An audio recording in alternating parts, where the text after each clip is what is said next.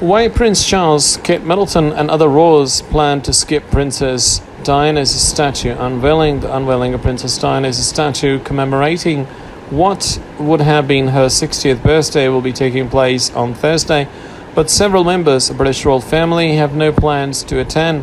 Though Prince William and Prince Harry will be there, their wives will be absent. Prince Charles and his wife Camilla Parker Bowles are also expected to miss the event for a very good reason who is not coming to the ceremony.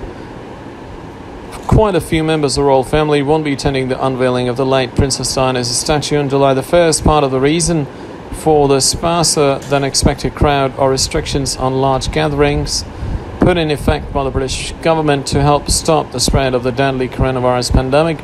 Naturally, Princess Diana's sons made the cut on the exclusive guest list. Prince Harry has already flown in from California for the ceremony, but his wife, Meghan Markle, remained at the couple's Montecito home with their two children. Prince William's wife, Kate Middleton, is also expected to miss the ceremony.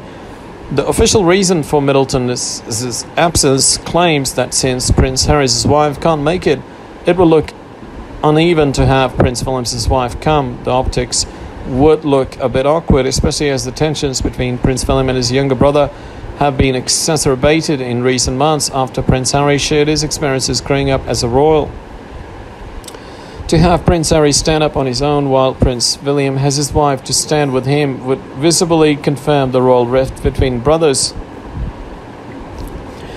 Since the royal family has been on a PR offensive in the months since Harry and Markle's bombshell Oprah Winfrey interview, it is unsurprising that they would take pains to make sure things look even between the royal brothers. A source, however, has challenged this official line of reasoning, telling page 6 Catherine's absence speaks volumes. I think keeping the numbers down is a perfect excuse for Catherine to stay away. The source continued, adding William is determined that the Sussex drama doesn't overshadow this important uh, moment of remembrance to his much missed mother and is keeping that his focus. Prince Charles reportedly wants to avoid old wounds. In addition to Kate Middleton, Meghan Markle, Prince Charles, and Camilla Parker Bowles are also expected to bow out of the ceremony for an obvious and awkward reason. Parker Bowles and Prince Charles infamously carried on an affair while he was married to Princess Diana which was a major reason why the two divorced, in order to avoid unpleasant memories which might dampen the meaningful celebration of Princess Diana's life. The Duke and Duchess of Cornwall will not be present. An insider told the Times UK these moments have potential to resurface old wounds and it brings back memories for him happy, sad, regretful since Diana's death. He's felt it is best to keep those memories to himself and leave his sons to it.